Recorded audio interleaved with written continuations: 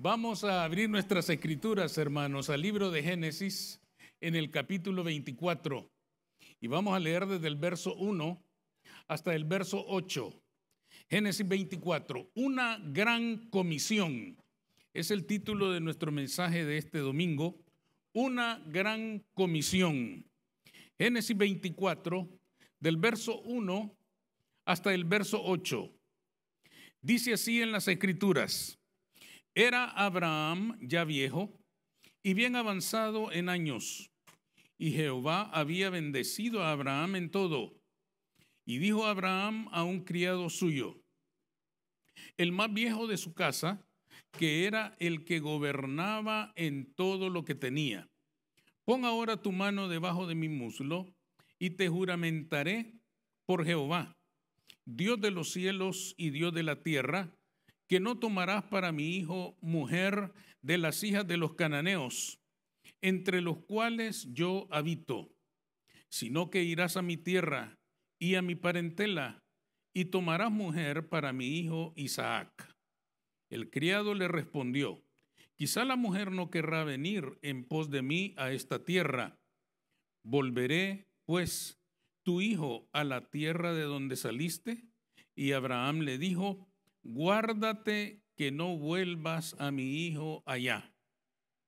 Jehová, Dios de los cielos, que me tomó de la casa de mi padre y de la tierra de mi parentela, y me habló y me juró, diciendo, a tu descendencia daré esta tierra, él enviará su ángel delante de ti, y tú traerás de allá mujer para mi hijo.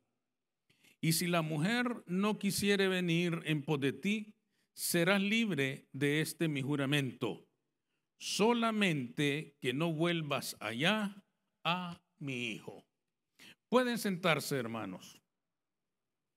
Estos versículos que hemos leído son parte de una historia muy interesante.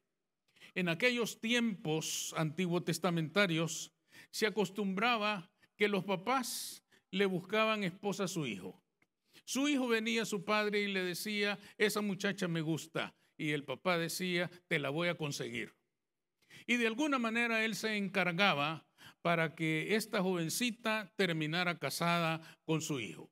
En este pasaje estamos leyendo nosotros que Abraham le encarga a uno de sus siervos, al más viejo de su casa, dice, seguramente al que más confianza le tenía, porque gobernaba, dice, en toda su casa. Esto quiere decir que Abraham confiaba plenamente en este siervo suyo, en este esclavo suyo, y le encarga una comisión muy especial. Ve y trae de mi tierra a una mujer para mi hijo. Es decir, consíguele una novia a mi hijo Isaac. Quiero que se case porque su descendencia es importante para mí. En realidad, hermanos, como vamos a ver más adelante, esta comisión encargada a este siervo bien se puede comparar con la gran comisión que el Señor Jesús le encomendó a su iglesia. El Señor le dijo a su iglesia, eh, prediquen el Evangelio por toda la tierra. Una comisión muy similar, como vamos a ver en el desarrollo, a lo que está aconteciendo aquí con el esclavo de Abraham. ¿Cómo se pueden comparar la comisión que había recibido aquel siervo en la casa de Abraham y la gran comisión que el Señor Jesús encargó a su iglesia? ¿En qué se parecen? ¿En qué son similares estas dos grandes comisiones? En primer lugar, las dos tienen que continuar el plan de Dios. Si nos fijamos bien, la misión encargada a este siervo de Abraham no era cualquier cosa. No lo podemos ver con simpleza, quizás hasta nos cause un poco de risa a un papá buscando una novia para su hijo, como si el hijo no fuera capaz de encontrar una mujer por sí mismo, como si el hijo no fuera capaz de enamorar a una mujer por sí mismo, sino que el padre tiene que ir y buscarla. ¿Por qué razón, hermanos, Abraham encarga una función como esta a su siervo de mayor confianza? Porque Isaac no era un novio más, no era un novio cualquiera. No se estaba buscando tampoco a una novia cualquiera. Se estaba buscando a una mujer que le daría la descendencia que Jehová le había prometido a Abraham. Este es un novio especial, hermanos, porque Isaac es el hijo de la promesa. Isaac es aquel hijo que le había nacido a Abraham y a su esposa Sara cuando ya eran ancianos.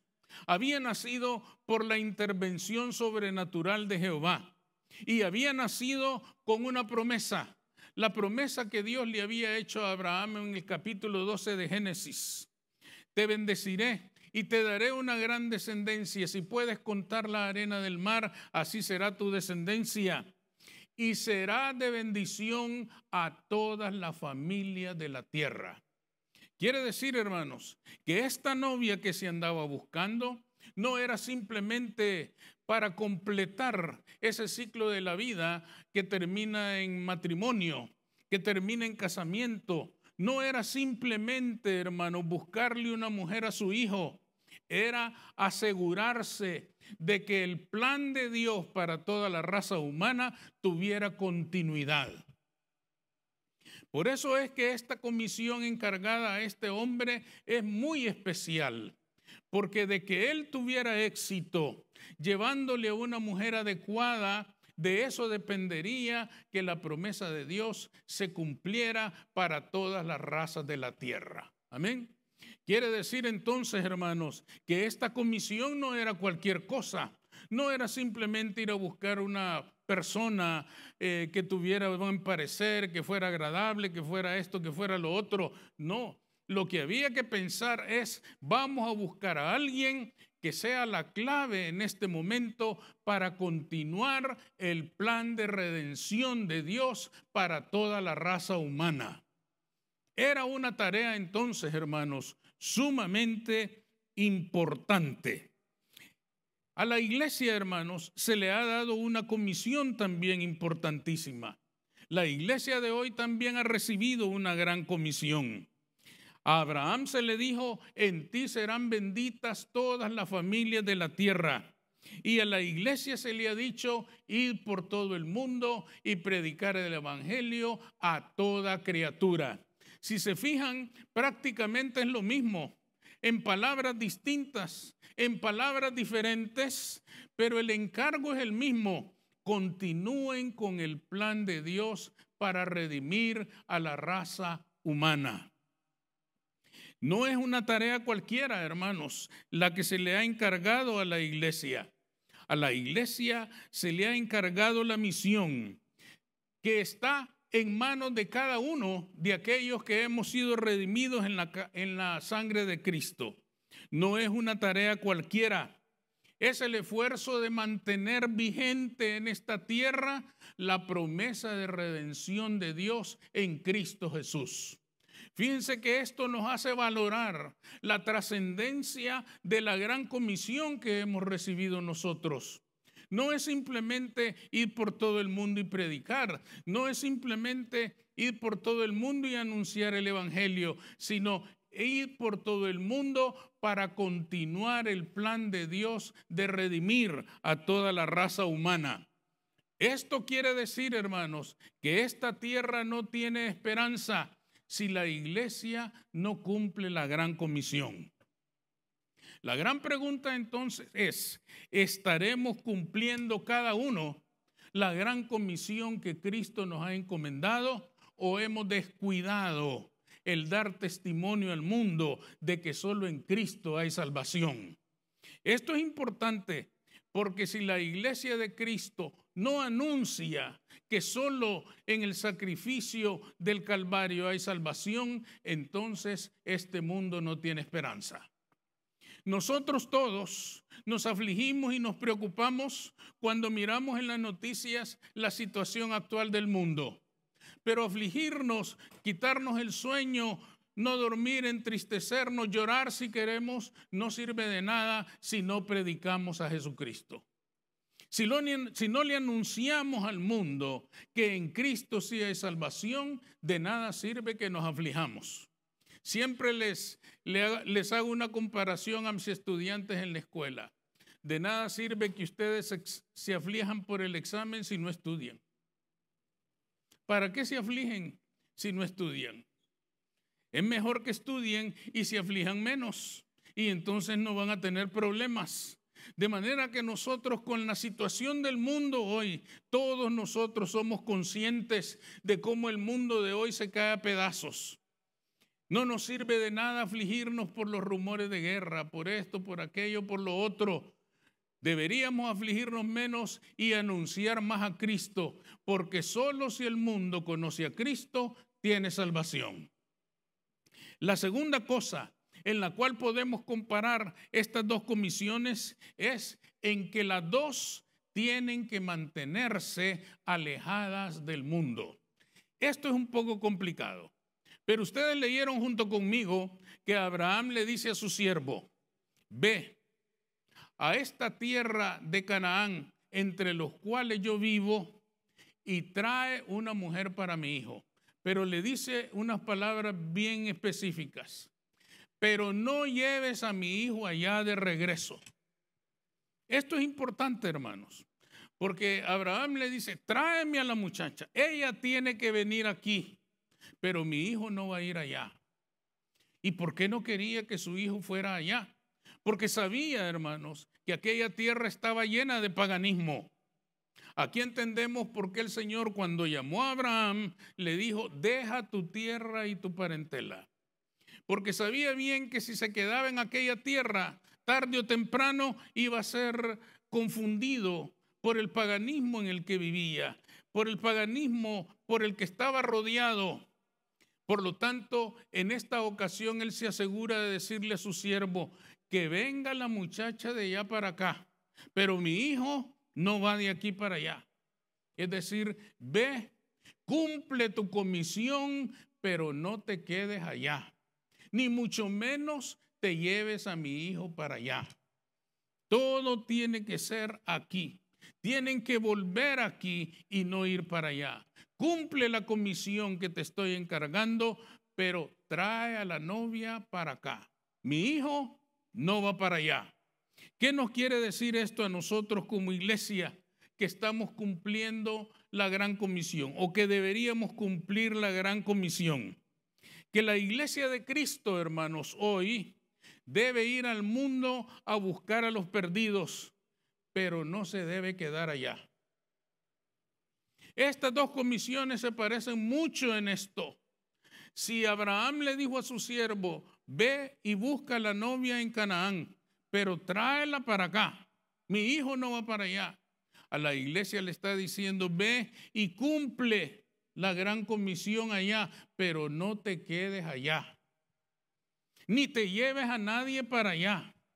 Regresa aquí, porque si no te vas a contaminar con el paganismo reinante.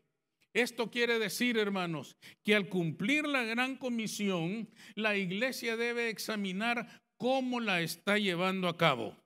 Últimamente, nosotros vemos una iglesia, hermanos, que en vez de buscar a las personas para que salgan del mundo, se une a ellos y construye un cristianismo mundano.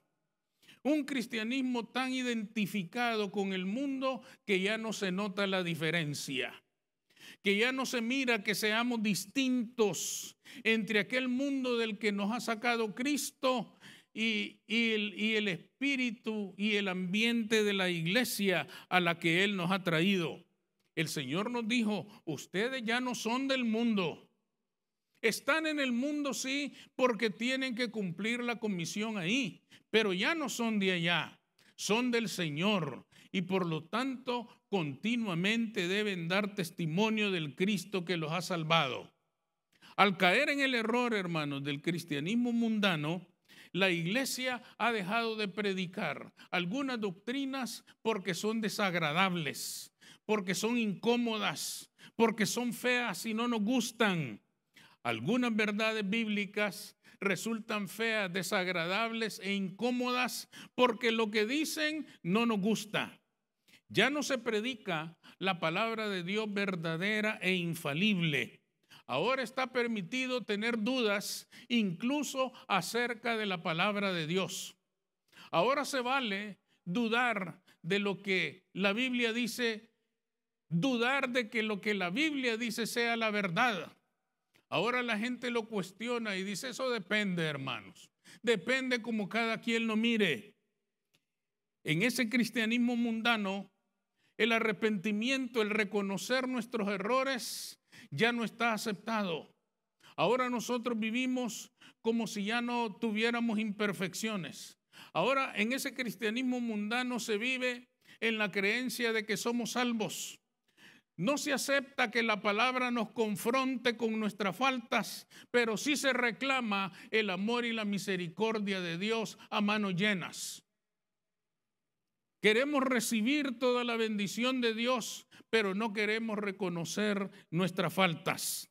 En ese cristianismo mundano, hermanos, ya no se predica el pecado, ya no se predica el arrepentimiento, pero se reclama la bendición de Dios, su amor y su misericordia. Hay palabras que nos gustan. Pedid y se os dará, y todos decimos amén.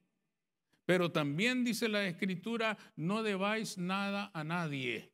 Y eso ya no nos gusta. Y eso lo descartamos. Y eso lo hacemos a un lado porque es incómodo, porque es desagradable y porque probablemente ha puesto el dedo en la llaga. Por lo tanto, hermanos, comenzamos a desplazar la verdad y comenzamos a crear un montón de convicciones y creencias que no tienen fundamento bíblico. El cristianismo, hermanos, está perdiendo la sustancia de su fe, que es la palabra revelada de Dios. No nos equivoquemos, amados hermanos. El mundo no quiere, si el mundo no quiere venir, estamos libres del juramento. Fíjense que Abraham le dice a su siervo, si la novia no quiere venir, tú quedas libre de tu juramento. Ya cumpliste con tu función. Si ella no quiere venir, estás en paz. No ha pasado nada. Pero si llevas a mi hijo para allá, ahí sí estás en problemas. ¿Qué nos está diciendo esto a nosotros? Nosotros vamos al mundo, anunciamos a Cristo Jesús. Si ellos no quieren venir, estamos en paz. No es nuestra responsabilidad, pero anunciarle a Jesucristo, esa sí es nuestra responsabilidad. Ese es nuestro deber. Ese es el propósito para el cual Cristo nos salvó. Tenemos que predicar el Evangelio tal como ha sido revelado y si alguien no quiere venir, es su decisión. Justamente lo que Abraham le dice a su siervo. Nosotros, hermanos, no debemos ir al mundo para quedarnos allá. Debemos ir al mundo para atraerlo hacia Cristo Jesús. No para establecernos allá y confundirnos con ellos, sino para darles testimonio de Jesucristo de Nazaret, el único en el cual el mundo tiene salvación. Amén. Vamos a orar. Señor, te damos las gracias